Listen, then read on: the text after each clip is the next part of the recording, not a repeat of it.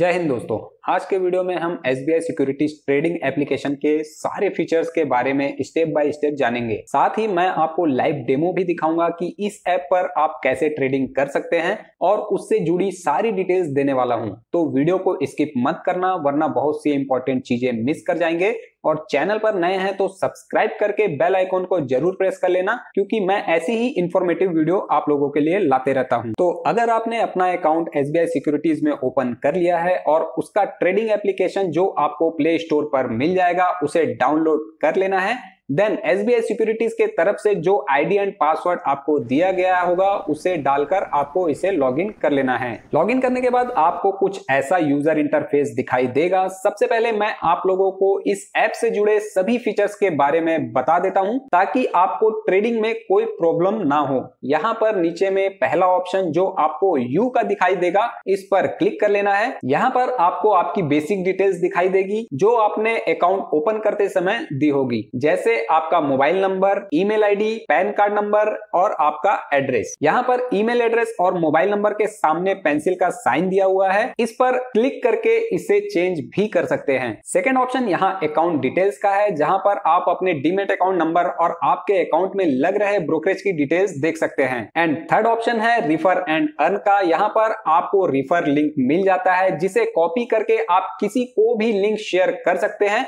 और यदि वो पर्सन आपके लिंक से अपना अकाउंट ओपन करता है तो आपको उसके बिहाफ में रिवार्ड भी मिलता है। लिंक का अगर आपको शो नहीं कर रहा है तो उसे कैसे जनरेट करना है, इस पर मैंने एक अलग से सेपरेट वीडियो बनाया हुआ है। आप वीडियो सेक्शन में जाकर उसे देख सकते हैं। और अगर आपने अकाउंट अभी तक एस सिक्योरिटीज पर नहीं खोला है तो आप मेरे रिफरल लिंक से अपना अकाउंट ओपन कर सकते हैं। क्योंकि इस वीडियो के थ्रू मैं एक प्रकार से आप लोगों को एजुकेट ही कर रहा हूँ तो उसके बिहाफ में आप मेरा लिंक यूज़ कर सकते हैं। लिंक आपको डिस्क्रिप्शन बॉक्स में मिल जाएगा। यू के बाद यहाँ सेकंड ऑप्शन आता है पोर्टफोलियो का। यहाँ पर आप अपने पोर्टफोलियो का ओवरव्यू देख सकते हैं। आपका पोर्टफोलियो कितना प्लस या माइनस है, वो सारी डिटेल्स आपको यहाँ दिख जाएगी। जस्ट बगल में डीमेट बैलेंस का ऑप्शन है। यहाँ पर आपके डीमेट अकाउंट में कौन कौन से शेयर रखे हुए हैं, उसकी डिटेल्स आप देख पाएँगे। उसके बगल में अनसेटल्ड स्टॉक का ऑप्शन दिया हुआ है। यहाँ आप वो शेयर की डिटेल्स देख पाएँगे जो आपने रिसेंट परचेस किए हुए हैं और उनका सेटलमेंट अभी तक नहीं हुआ है। जस्ट बगल में रिपोर्ट का ऑप्शन है, जहाँ से आप अपने book profit and loss report capital gain and loss report देख सकते हैं। बट अगर ये रिपोर्ट आपको डाउनलोड करना है तो मैं आपको वेब लॉग सजेस्ट करूँगा।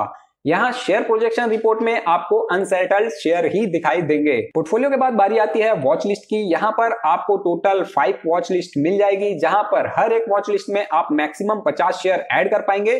किसी भी शेयर को अपने वॉच लिस्ट में ऐड करने के लिए यहाँ पर सर्च एंड ऐड का ऑप्शन दिया हुआ है। आपको उस पर क्लिक कर लेना है। देन जिस भी शेयर को आप अपने वॉच लिस्ट में जोड़ना चाहते हैं, उसे यहाँ पर सर्च कर लेना है।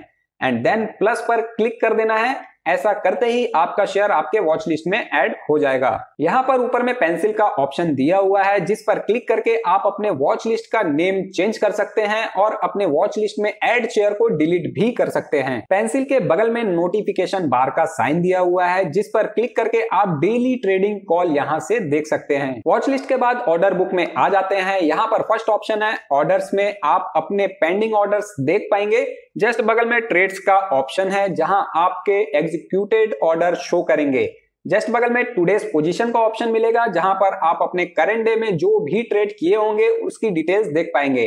And last carry forward positions अगर आपने फ्यूचर एंड ऑप्शन में या फिर करेंसी में कोई ट्रेड लिया हुआ है और उसे कैरी किया हुआ है तो उसकी डिटेल्स आप यहाँ पर देख पाएँगे। इन सब के अलावा यहाँ पर मेन्यू बार में भी कुछ ऑप्शंस दिए हुए हैं तो हम उस पर भी एक नज़र डाल लेते हैं। फ़र्स्ट है लिमिट। यहाँ पर आपके अकाउंट में कितना फंड अवेलेबल है और आपको कितना मार्जिन मिल रहा है, उसकी डिटेल मिल जाती है। देन मेन्यू बार में सेकेंड ऑप्शन आता है ट्रांसफ़र ऑब्लिक विड्रॉल फंड का। किसी भी शेयर में इन्वेस्ट या फिर ट्रेडिंग करने के लिए आपके ट्रेडिंग अकाउंट में फंड होना ज़रूरी होता है। तो यहाँ से आप अपने सेविंग अकाउंट से फंड को ट्रेडिंग अकाउंट में ट्रांसफ़र कर सकते हैं।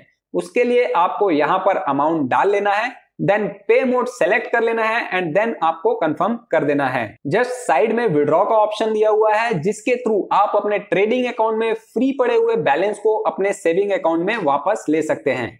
जस्ट बगल में ट्रांसफ़र हिस्ट्री दी हुई है, जहाँ से आप अपने अकाउंट में हुए फंड ट्रांसफ़र एंड विड्रॉल की पूरी डिटेल्स देख सकते हैं। मेन्यू बार में फिर से आ जाना है, यहाँ थर्ड ऑप्शन दिया हुआ है ई प्लेज का तो सबसे पहले आपको बता दूँ कि ई प्लेज होता क्या है।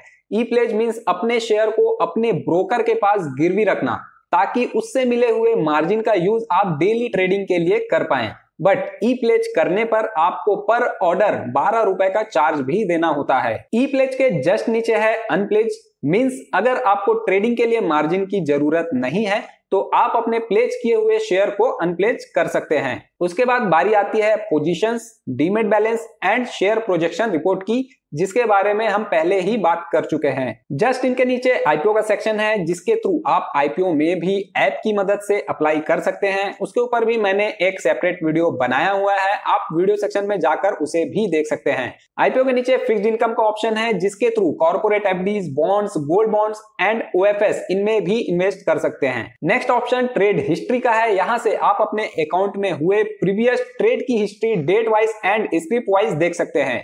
इसके बाद ऑप्शन आता है लेजर रिपोर्ट का, जहाँ पर आप अपने अकाउंट का ledger date wise and segment wise भी देख पाएँगे।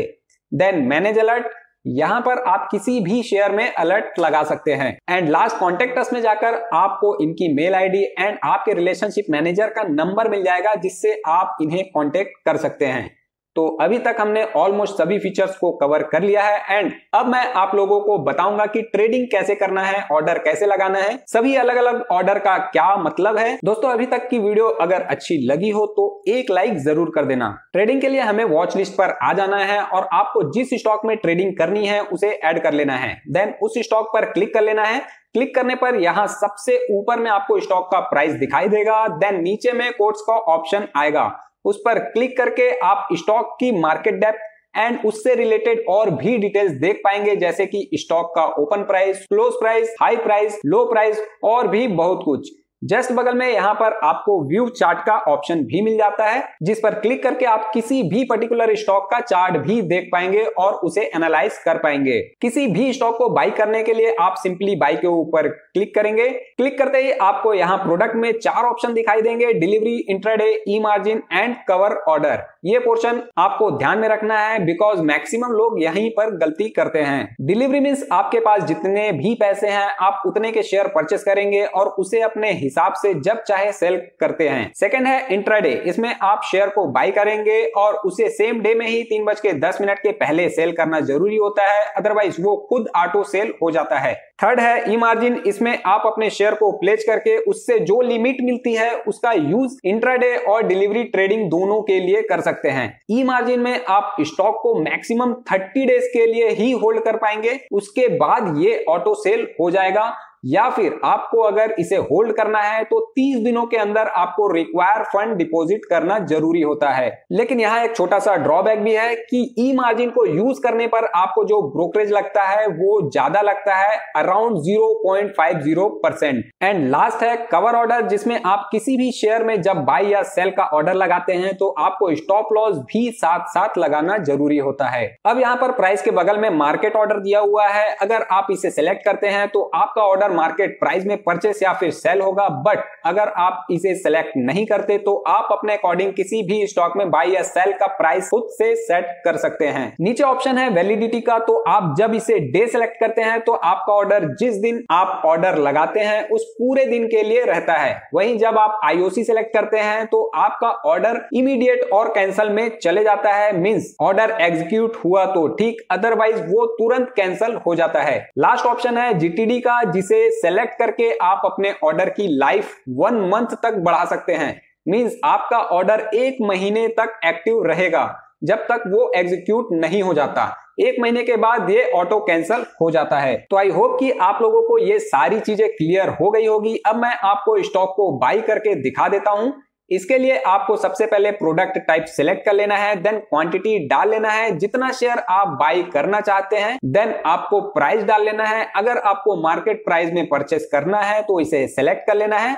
देन फाइनली बाइक के ऊपर आपको क्लिक कर लेना है एंड इसे कंफर्म कर देना है। आप देख सकते हैं कि यहाँ पर हमारा ऑर्डर सक्सेसफुल हो गया है। आप इसे order book and today's position में भी चेक कर सकते हैं। आपके पोजीशन पर कितना प्रॉफिट या लॉस हो रहा है, यहाँ पर अपडेट होता रहेगा। अब इसमें स्टॉप लॉस कैसे लगाना है, वो बता देता हूँ। इसके लिए हमें स्टॉक पर क्लिक कर लेना है। देन सेल के ऊपर क्लिक कर लेना है देन क्वांटिटी डालकर जिस भी प्राइस में आपको स्टॉप लॉस लगाना है, वो डाल लेना है। एंड यहाँ पर प्राइस एंड ट्रिगर प्राइस दो ऑप्शन दिए हुए हैं तो यहाँ पर प्राइस को आपको ट्रिगर प्राइस से कम रखना है। जैसे कि आप अगर ट्रिगर प्राइस 515 पर रख रहे हैं तो प्राइस को आपको 514 रुपए पर रखना है। स्टॉक का प्राइस ट्रिगर प्राइस पर जैसे ही पहुँचता है, आपका स्टॉप लॉस ऑर्डर एक्टिव हो जाता है। इतना करने के बाद सेल पर क्लिक कर देना है।